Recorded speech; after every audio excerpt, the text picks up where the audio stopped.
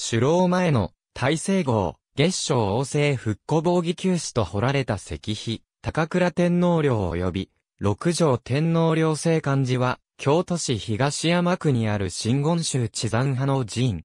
三号は、家中山。平家物語の秘伝で知られる、高倉天皇と古豪局ゆかりの寺院である。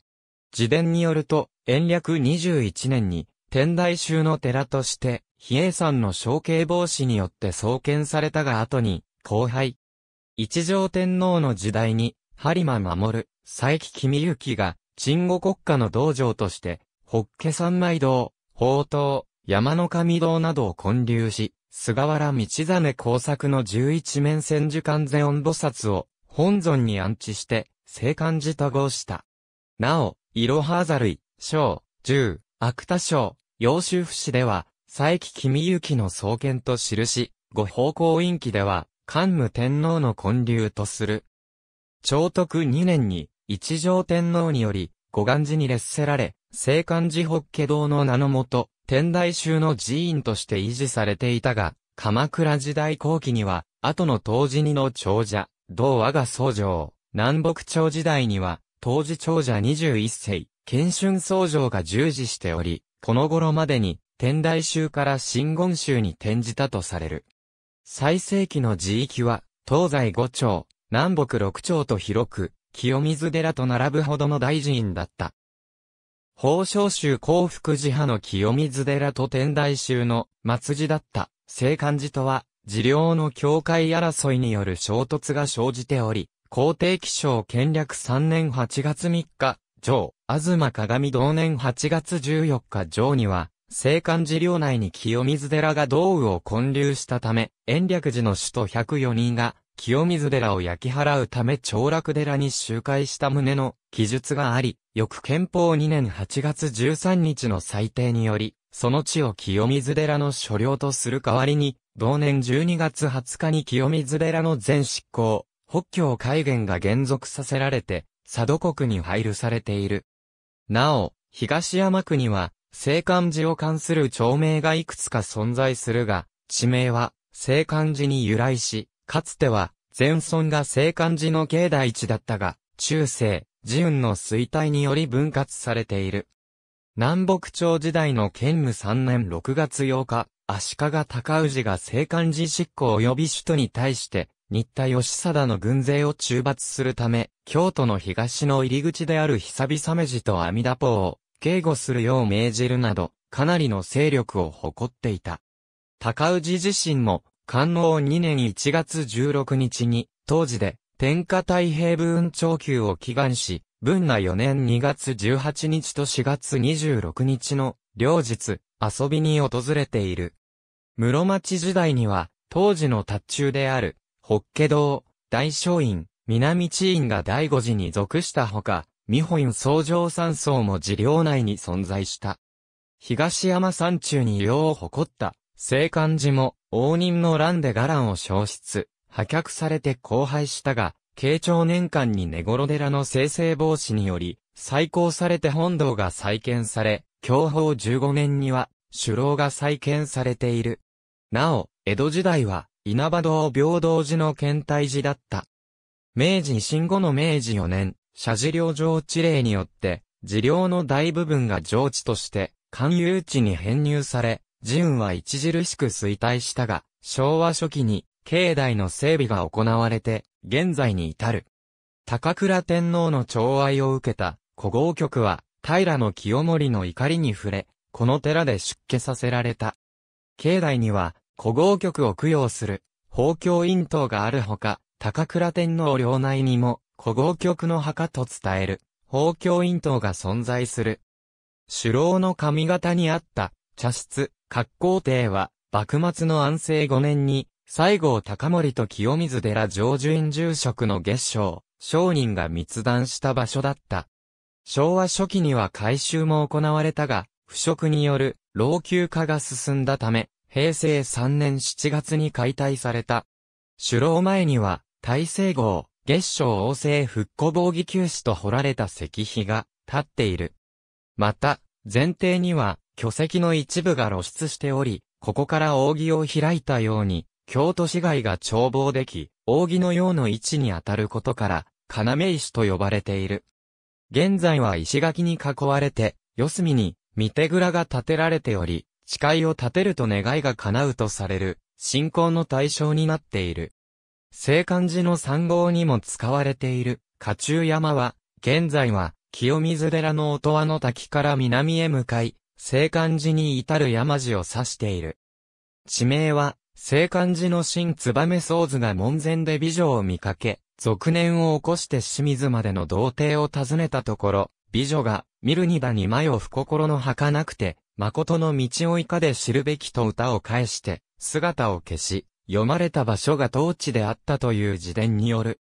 なお、源平清水期末期に、学田論不参総称清水寺並海景山ごとに、聖漢寺、下中山まで関、宿り来たりとあり、古くから使われている地名だが、山州名石市では、不詳と印、聖漢寺山あるいはその西側の妙隆寺の地とされる。また、平安時代から応仁の乱頃までの京都を描いた中古系市内外地図では、清水山と山路を挟んだ西側の山を、下中山と記している。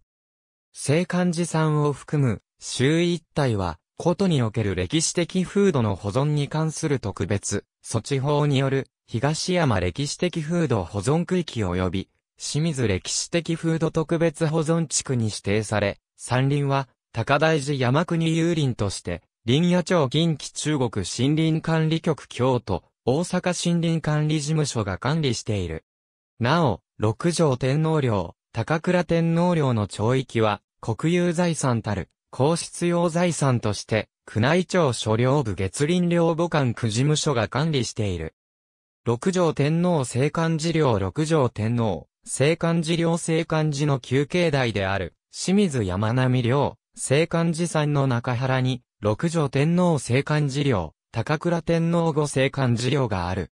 両領の町域面積は9889.44平方メートル、周囲215県、手前が高倉天皇後聖漢寺領、後方上段が六条天皇聖漢寺領。両領ともに土塀に囲われて正面に、日和田武器平から門を有しており、領内を望むことはできない。町域は南南西方向に開けた長方形状の谷間に位置するので、廃所も含めて、両両とも南南西を正面としている。また、町域全体は、金網状のフェンスで囲われている。山腹に4カ所ある平坦地の最上段に位置しており、宮内庁による公式形式は円球。昇降録には南面の円墳と記す。廃所東側の石段を登り、高倉天皇両脇の参道を通り、さらに3つの石段を登った部分が平坦地になっており、直径7メートルの円球を中央に、間口12メートル、奥行き10メートル余りの南南西に面する方形に、土塀を巡らし、石段の突き当たりに位置する南面中央に、平から門が設けられている。安元2年7月17日、六条院が聖漢寺境内にあった国綱京、東山邸で崩御すると、同22日に、聖漢寺衝動に葬られた。後に、衝動は失われて所在も、不明となり、江戸幕府の元禄、教法の所領長所でも、聖漢寺境内に、高倉天皇領所はあるが、六条天皇領所は不明とした。谷森義富が表した三領港には、聖漢寺の山の高倉院五領の北五山、段元状の形区林のうちに、北南60条元西東180条元の間平坦なる地あり、土人北家道豊府と記され、高倉天皇陵の北側後方、三段状の竹林内に地元民が北家道と通称する平坦地があり、この山麓に代々住む漁師から、その竹やぶで長さ5.6寸の腐食した鉄釘と屋根瓦の破片、牢の塊を掘り出したと聞いた谷森は、この場所が、ホッケ道旧市で、六条院を土葬した、御堂跡と推定した。文久の治無領では、東証を考え定めして、修法を行い、竹やぶに覆われた平坦地を切り開き、中央に小さく方形区画が作られて、三両本体に移され、牧の事情に土塀を設けて、南側に鳥居を築いた。また、竹やぶに覆われた南斜面は、階段状に整地されて参道が作られ、一段下の平坦地も切り開かれて廃所が設けられた。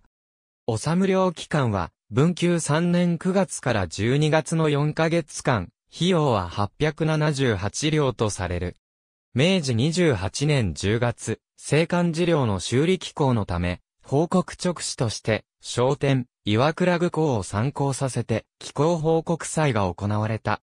領内の再修理では、円球の両棒修造、鳥居を木製から石像に変更し、土塀も方形に改修して、南面に平から門を設け、明治29年12月に竣工、修理竣工報告直使として、商店、淡津食綱を参考させて、竣工報告祭が行われた。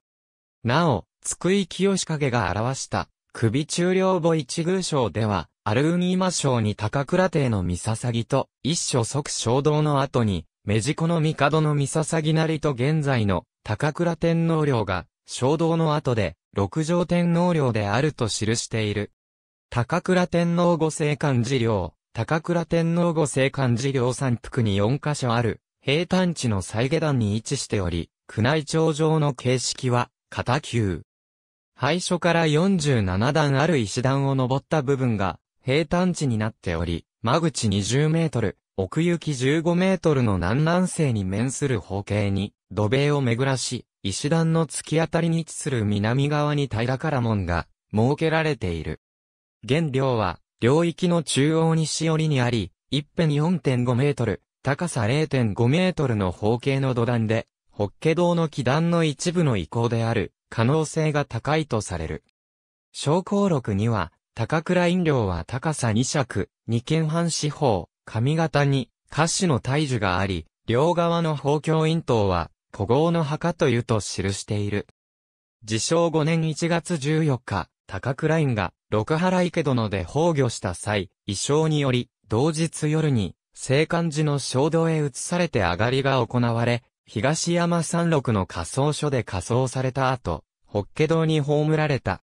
文献には、高倉院法華堂、聖漢寺法華堂等とも記され、高倉院法華堂には、所領が与えられ、愚僧を任命して、守る領祭祀を行わせていた。後に、法華堂は失われたが、自僧による祭祀は継続されており、元禄の所領探索でも所在が明白で、幕末は、正午院宮の管理下にあった。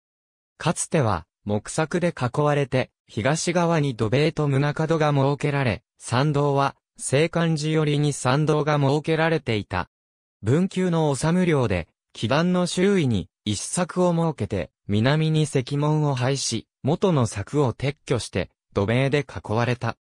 また、竹林だった南斜面が切り開かれ、新たに石段と参道が設けられている。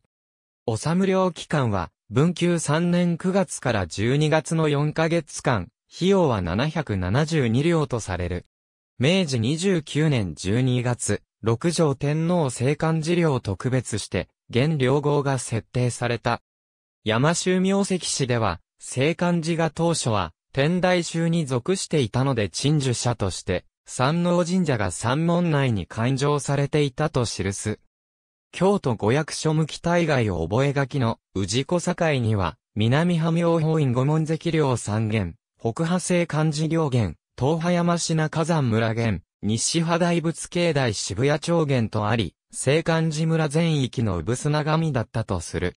明治34年に、聖漢寺から独立し、渋谷街道沿いの現在地へ潜座している。旧社格は孫社。ありがとうございます。